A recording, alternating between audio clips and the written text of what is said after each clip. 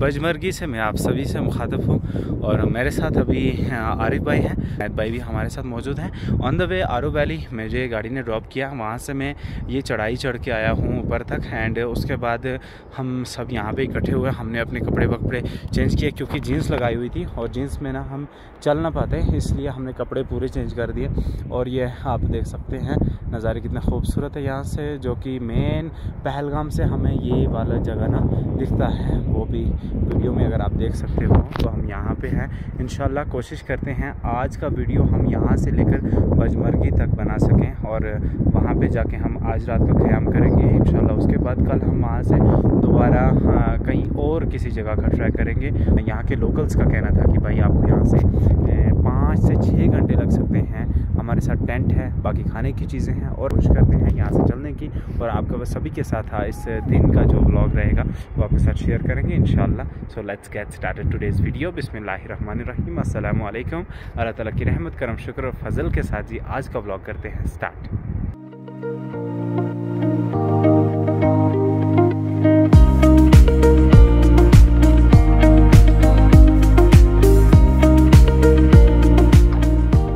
अभी हम इस जंगल से जाएँगे और अप्रॉक्सीमेटली मुझे लगता है कि चार किलोमीटर्स है और घना जंगल है, बिल्कुल एक ही तरह के दरख्त हैं यहाँ पे।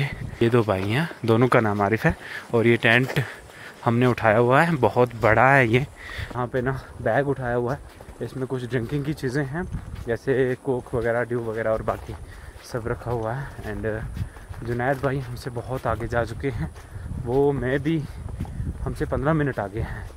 यहाँ पे सबसे बेस्ट ना मुझे एक ही चीज़ लगी। देखो, अगर आप नॉर्मली बाइसरन में देखोगे ना तो वहाँ के रास्ते जो हैं, वो ना बहुत ही ख़राब है।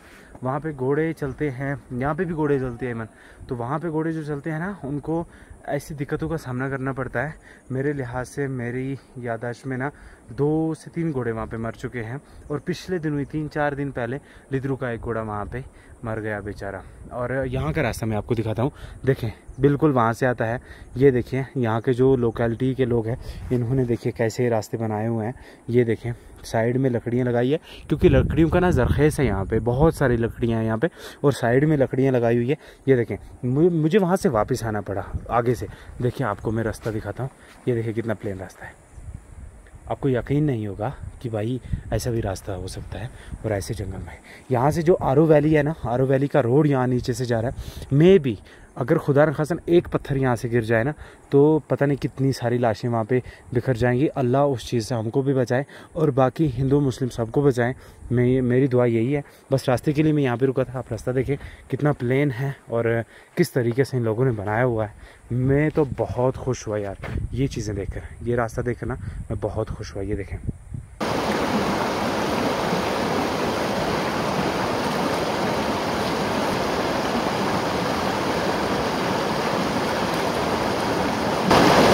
बहुत ठंडा पानी है यहाँ का।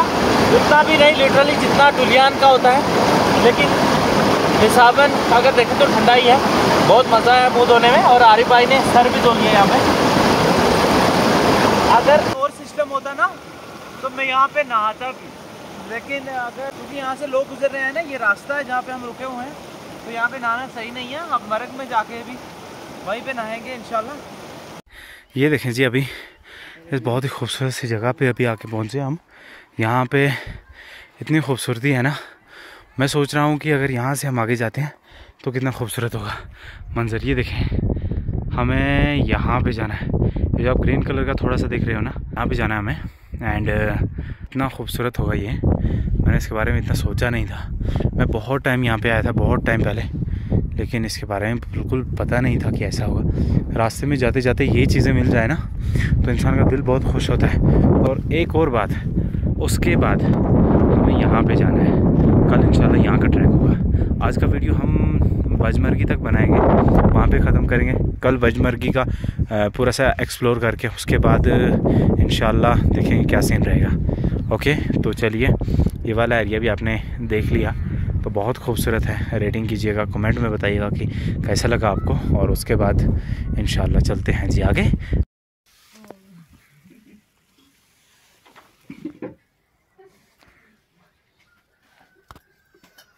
देखें जी, अभी यहाँ इस घर से ना हम चाय पी कर निकले हैं। अभी अपना टेंट असम्बल करने हैं और शाम तक ना हमको टेंट जल्दी जल्दी असम्बल करना है क्योंकि फिर टाइम नहीं रहेगा हमारे पास। और इन जल्दी चलते हैं। ये देखें, मेरे बंदे कैसे चल रहे हैं। ये देखें, बहुत ही खूबसूरत है यार। मेरे को ना पर्सनली बहुत अच्छा लगा। कल उस वाली साइड हमको जाना है एंड यहाँ से इस साइड भी जाएँगे, पूरा एक्सप्लोर करेंगे, उसका अलग से वीडियो बनाएँगे। और बाकी सब सही है। चलिए मेन स्पॉट पे जाते हैं और जगह देखते हैं। उसके बाद करेंगे जी आगे का काम स्टार्ट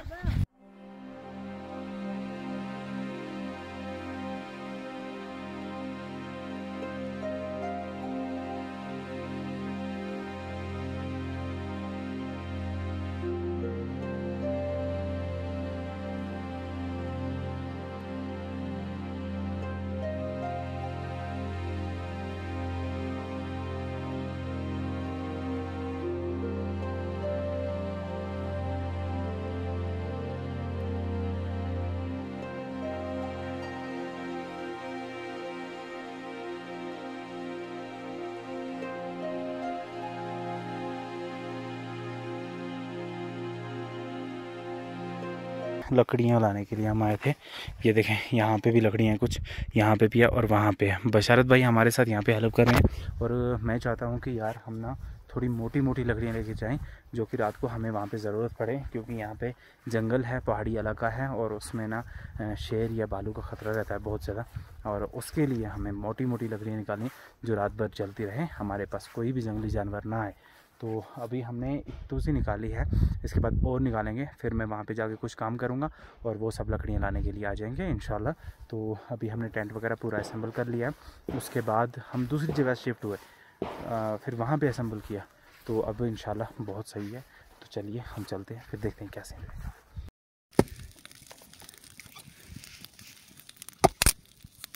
बैग तो करो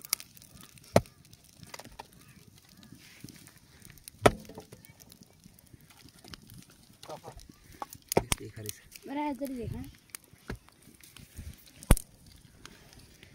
आप गया वीडियो यहाँ पे हमने आग जलाई है और इसके ऊपर हमने चिकन रख दिया है और अपने टेंट के अंदर से ना ये व्यू देखें आप बहुत ही खूबसूरत। हम दो तीन बंदे अंदर ही बैठे हुए हैं। इन शाम भी होने को है और सूरज शायद ग्रूब हो चुका है। तो अभी इसके ऊपर हम और आग जलाने वाले हैं। ये जो लकड़ियाँ ये रात के लिए हम लाए हैं। और इसके ऊपर सिर्फ़ चिकन बना के उसके बाद हम चाय या कॉफ़ी बनाएँगे। देखें और उसकी आवाज़।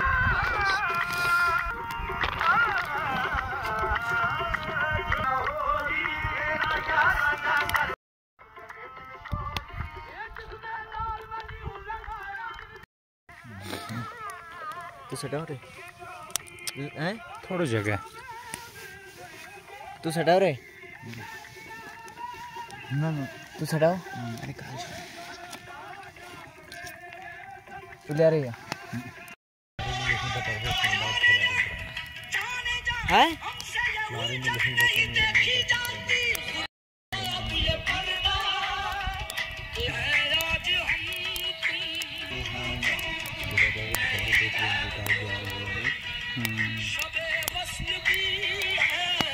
आवाज़ आवाज़। मतलब लाइट क्यों तोड़ पहुँचा The next The next morning. मैंने देखा कि यहाँ के लोकल्स ना क्या करते हैं कि सुबह हमारी तरह नहीं उठते हैं। वो साढ़े चार पाँच के दरमियान में उठते हैं और अपना जो माल मवेशियों से दूध लिया होता है वो जमा करते हैं। पंद्रह से बीस लीटर एक ही घर के पास होता है माशाल्लाह। और वो लेकर ये मार्केट में जाते हैं। यहाँ से पहलगाम जाना बहुत मुश्किल है। भाई मैं आया मेरी तो फट गई। मैं कुछ नहीं बताऊँगा और तो वहाँ तक जाना मेरे लिए, मेरे हिसाब से बहुत मुश्किल है और ये लोग वहाँ तक जाए, जाते हैं रोज़ और वहाँ से खाने की जो चीज़ें होती हैं वो लेकर आते हैं।